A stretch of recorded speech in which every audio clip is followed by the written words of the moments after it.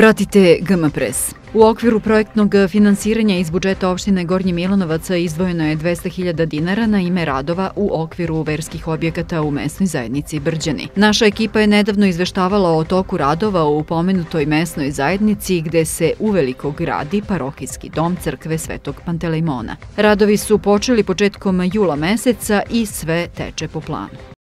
Izliva se druga ploča i u ponedjeljak Bog da krećemo dalje. Naš cilj je da ozidamo drugi sprat i da pokrijemo. Ako ga ostvarimo, bit će odlično, a nadamo se da ćemo ostvariti zacrtani cilj. Dugo učestvujem u svim akcijama u selu, ali mislim da je ovo akcija koja je najveći broj stanovnika podržao i finansijski, i radno, i moralno, i u svakom pogledu.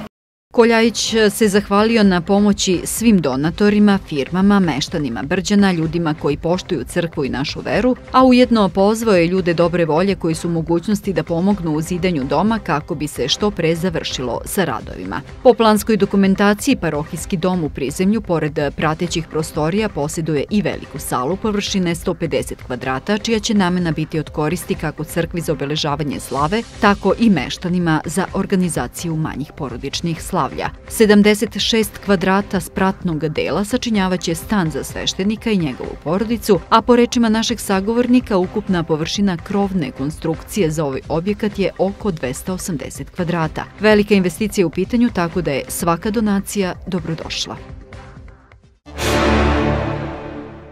U okviru Dečje nedelje mališani vrtića na Rudniku učestvovali su u mnogobrojnim aktivnostima u prirodi i iskoristili lepo vreme. O aktivnostima koje su sprovodili razgovarali smo sa vaspitačicom. U okviru Dečije nedelje smo organizovali takođe aktivnosti na otvorenom prostoru.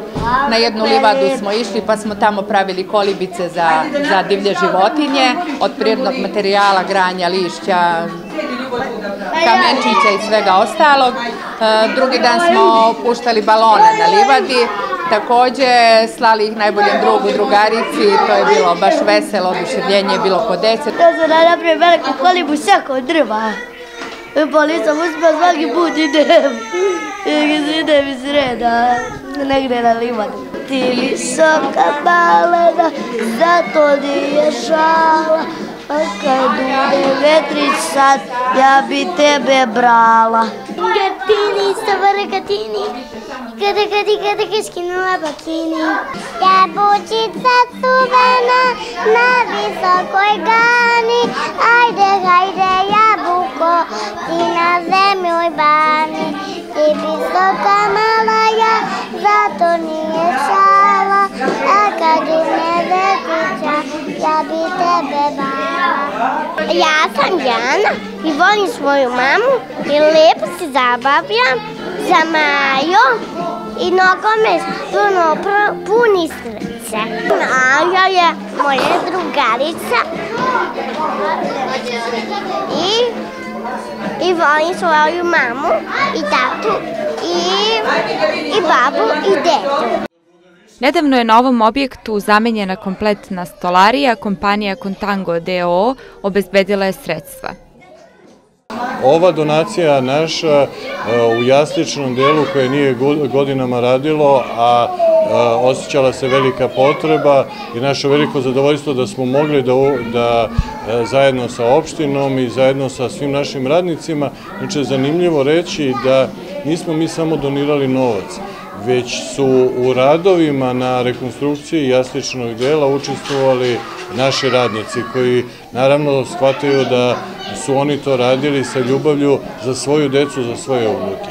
Tako da ćemo i nastaviti dalje da podržavamo lokalnu samoupravu i pre svega e, rudnik. Zahvaljujući donaciji firme Contango koja je izdvojila visoka sredstva za rekonstrukciju, vrtić je spremno dočekao jesanje dane. Ovog e, trenutka se naše srce jako duboko zahvaljuje kompaniji ROC Kontango na Rudniku, koji su već ko zna koji put pomogli našu ustanovu, ali ovoga puta finansijska sredstva su bila jako visoka i na taj način smo e, rekonstruisali naš objekat, promenili čitavu stolariju, pregradili jedan deo ulaznog, da kažemo, hola i prosto deci je, vi sami primećujete kad uđemo svetlije, prostranije, toplije, novi pod je u jednoj sobi gde oni borave, tako da smo zaista zadovoljni, zahvalni. Ja volim da kažem, tu zahvalnost osjećaju ne samo rudničani, nego i svi mi iz Gornjeg Milanovca i volim da kažem i naši kranjanci, jer svi smo mi tu jedni za druge. Simbolično u okviru Dečije nedelje društveno odgovorne kompanije su još jednom pokazale koliko je važno brinuti o deci i o njihovim potrebama.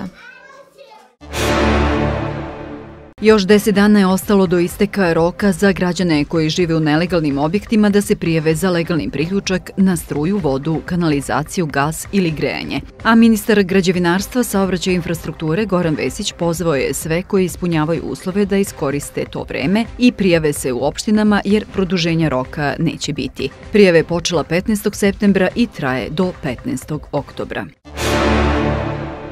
Elektroprivreda Srbije objavila je novi cenovnik električne energije po kome će građani od 1. novembra plaćati struju. Prema novom cenovniku za građane u sve tri zone, zelenoj, plavoj i crvenoj, bilo da je reč o jeftinoj ili skupoj struji, poskupljenje je 9,28%. Uroš Petrović je jedan od omiljenih i čitanijih dečih pisaca u Srbiji i regionu. Sinoć u velikoj sali kulturnog centra Mija Aleksić održao radionicu za decu osnovnoškolskog uzrasta naziva Zagonetna pitanja. Cilj ove radionice je razvijanje kreativnog i logičkog mišljenja, otkrivanje darovitosti za rešavanje skrivenih značenja zagonetki, podsticanje i razvijanje dečije mašte i stvaralaštva. Radili smo književnu radionicu za razmišljanje i ono što se uvek događa, ja sam im dokazao da su deca ovde sposobna da daju na stotine i stotine dobrih ideja i to je uvek tako. Ono što pokušavam da uradim sa decom jeste uvek da im povećam samopouzdanje, kreativnost, upornost, to su neke vrednosti koje forsiram na ovakvim susretima. Mene ovakvi susreti menjaju zato što njihove ideje su jednostavno takve da te inspirišu da smišljaš i sam mnogo stvari. Ono što pokušavam da uradim sa decom, mako gde radio sa njima, jeste da što više njih odraste, da sačuvaju ovu hrabrost, kreativnost, duh, maštu iz detinstva. Nažalost, to se redko događa. E, obično ljudi kad porastu upadnu u zamku, kalupe se i izgube onu volju za igrom i onu kreativnost iz detinstva, koju svi imaju. Inače, ja ovaj sistem koristim ne samo sa decom, radim od preškolaca do vrhunskih menadžera, jer svima to nekako nedostaje. Takav je život danas, malo zbog tog ubrzanja, a malo kažem što su ljudi neoprezni, onda počnu preozbiljno da shvataju i sve, svet oko sebe i sebe, a onda nije dobro. Čime se god bavio. Vakar bio predstavnik neke velike kompanije, ako si prestao da se igraš, ti si u problemu.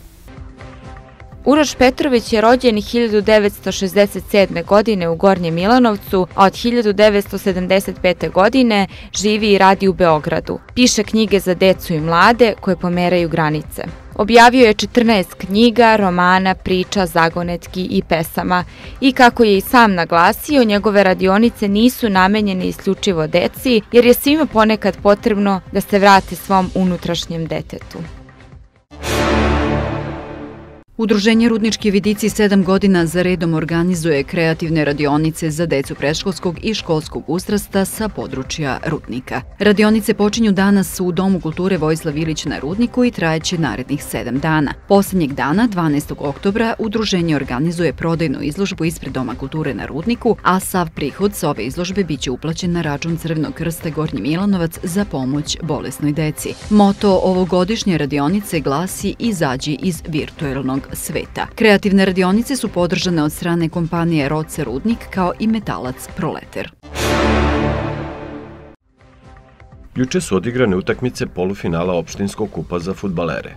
Šumadija iz Brđana je na domaćem terenu izgubila od Ozrema rezultatom 2-1, dok je Donja Vrbava na domaćem terenu savladala ekipu Ozremici iz Beršića nakon boljeg izvođenja penala.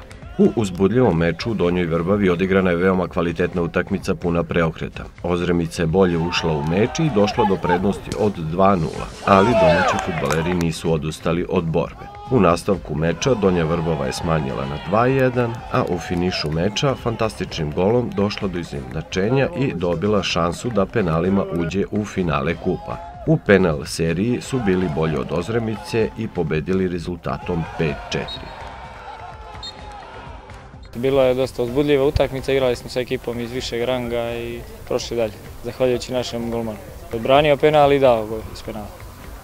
U drugom polufinalnom meču između Šumadije iz Brđena i Ozrema viđena je velika borba. Gosti su u prvom polovremenu došli do vođstva, Šumadija izjednačila posle penala, a u samom finišu prvog polovremena gosti dolaze do prednosti. U drugom polovremenu domaćini su imali nekoliko izglednih šansi za izjednačenje, ali nije bilo dovoljno koncentracije u završnici.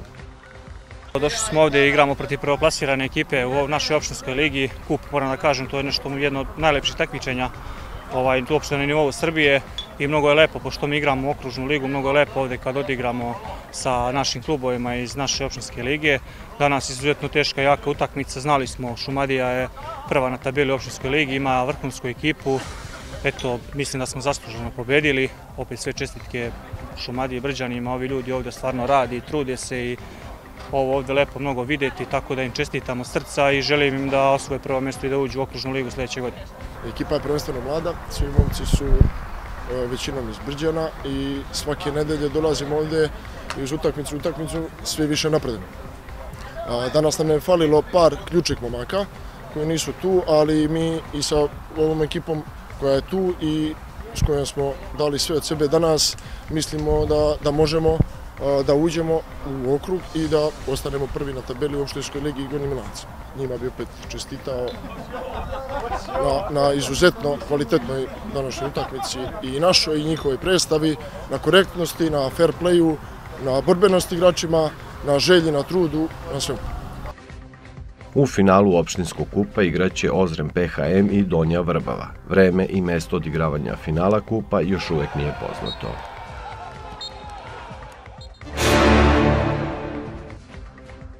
Rukometašice metalca u petak startuju u prvoj ligi Zapad. U klubu žele da ove sezone naprave iskorak u odnosu na prošlu i da se u naredne dve do tri godine vrate na rukometnu mapu Srbije.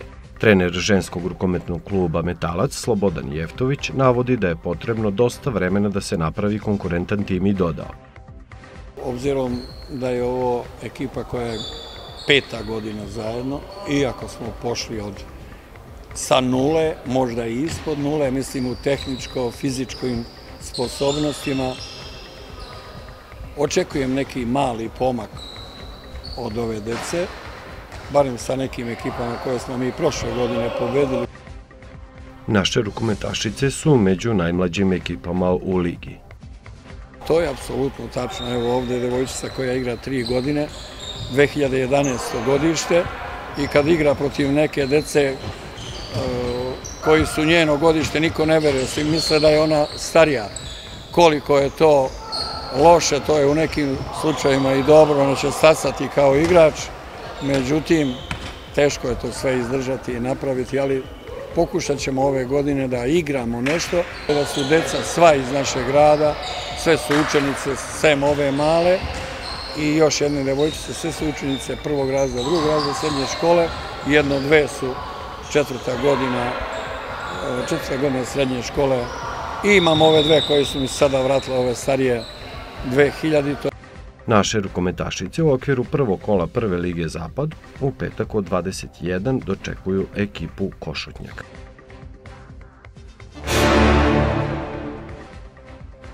U petak počinje treća Futsal Liga Zapad. Metalac Kolorado će sa podmlađenim timom pokušati da se uključi u borbu za promociju.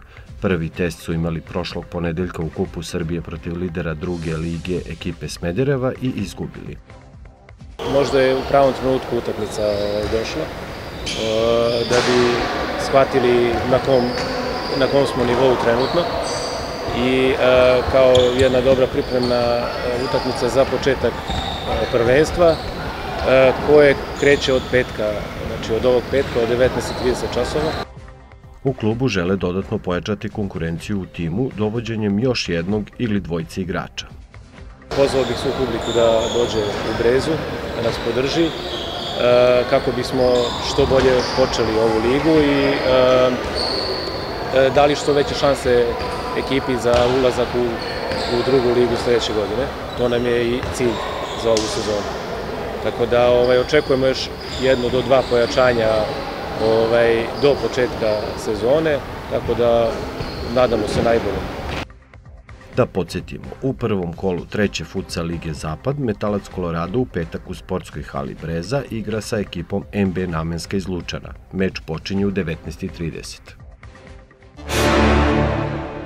Tokom dana pretežno sunčano uz malu i umerenu oblačnost, a samo se posle podne u brdsko-planinskim predelima očekuje kratkotrina kiša ili lokalni pljusak sa grmljavinom. Najviša dnevna temperatura u intervalu od 21 do 25 stepeni.